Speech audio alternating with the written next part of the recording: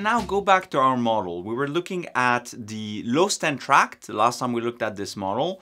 So let's go back to it and see what happens during low stand. We, we know now why we have a normal regression during low stand, but is there any particular surface, sequence stratigraphic surface of interest? So during low stand, we indeed have a surface here that is of interest and it's known as the maximum regressive surface. That's when sea level went to its lowest. So part of the maximum regressive surface, of course, is the erosional unconformity, the sequence boundary, but also the, um, the uh, correlative conformity on top of the low stand. So that's a, uh, an interesting surface, the maximum regressive surface, although it's not always easy to track.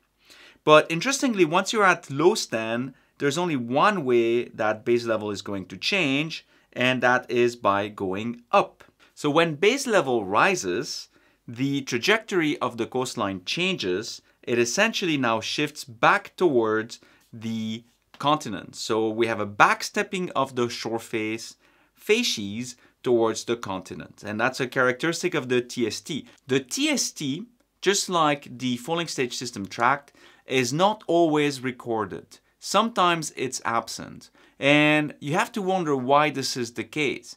And the key to the answer is in wave energy. The problem is that the transgression will result in the beach facies migrating over a lot of the previous sediments. And of course, the issue with that is that the, the beach is by definition an erosive environment where sands are being eroded and transported and redeposited. So you have a lot of um, wave scouring or wave erosion during a transgression. So if we go from point 1 to point 2, we have a base level rise.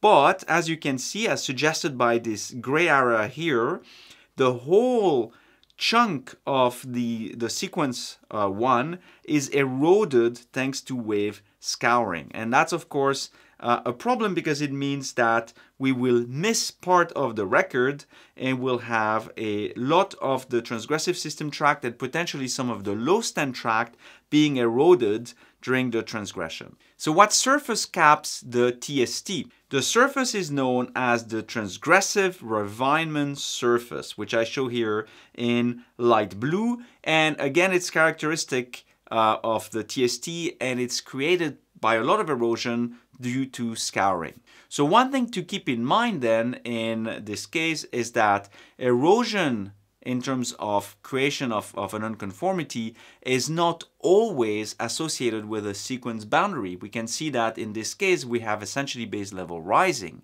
And that is why allostratigraphy, which takes you know every unconformity as a uh, boundary, is different to sequence stratigraphy, where we focus on the sequence boundaries as be being the caps or the marker of the whole sequence, and those lesser unconformities, like the scouring surface or the ravinement surfaces, are essentially the surface that cap the system tracts. So again, a fundamental difference between the two approaches. Of course, eventually we'll reach a point where base level is at its maximum, and that is known as the maximum flooding surface. The maximum flooding surface is very important, it's a key surface. It marks the base of the um, high stand system tract and the top of the transgressive system tract or the TST. So how about the HST then, which is right on top of the um, maximum flooding surface or MFS. What is characteristic of the HST? Well, for one thing, you already know that during the HST, the rate of base level change is going to slow down and the rate of sedimentation is going to be um, either constant or higher. So you can expect some normal regression. And in fact, the HST is characterized by progradation of sediment. So that means that above the maximum flooding surface, in the HST, we can expect some progradation and a normal regression. And notice that this implies a change in the direction of the shoreline. During the transgressive system tract, the shoreline was moving on land, so going up on the continent. But above the maximum flooding surface because we have a normal regression. That shoreline is now moving towards the basin again. It's prograding into the basin. So the maximum flooding surface is easy to spot on seismic lines because if you can spot the shoreline, you will see a change in the trajectory of the shoreline. So let's maybe recap a little bit what we can expect in terms of sequence stratigraphic surfaces. When we look at a base level cycle, again, that's an idealized base level cycle here. A, a full cycle is from a high stand to another high stand.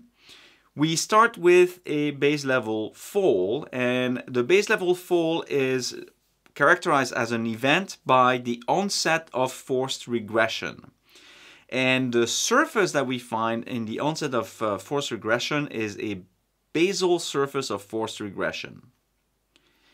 And that surface is also known as the correlative conformity if you follow other terminology. Now, at the end of that trans, uh, uh, uh, that base level fall, we have the end of the force regression.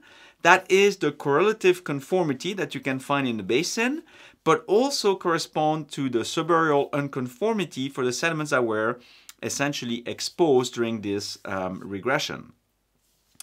Now, of course, we have the between the end of the forced regression and the end of the regression, we have the um, low stand uh, track being deposited.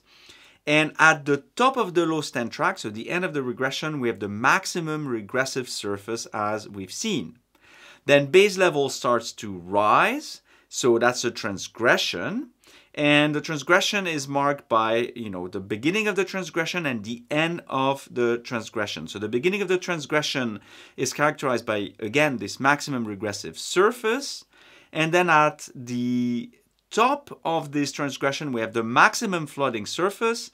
But in between we can have this transgressive ravinement surface that we have seen or i should say surfaces because these can be relatively um, non-extensive surfaces that you can find at different uh, places, but they can be characterized again by erosion. And then of course between the maximum flooding surface and the top of the next cycles, we have uh, nothing really happening except normal regression. And then we have the next onset of forced regression that marks the next cycle. So don't be too worried if this seems complicated at first. We have a lot of terminology in sequence stratigraphy. That's one of the barrier of sequence stratigraphy. But really the principles are, are relatively simple, especially if you can think back to that diagram that I showed with the rates of sedimentation and the rates of essentially base level change because that is the fundamental mechanism, the fundamental engine that drives those sequence stratigraphic uh, processes.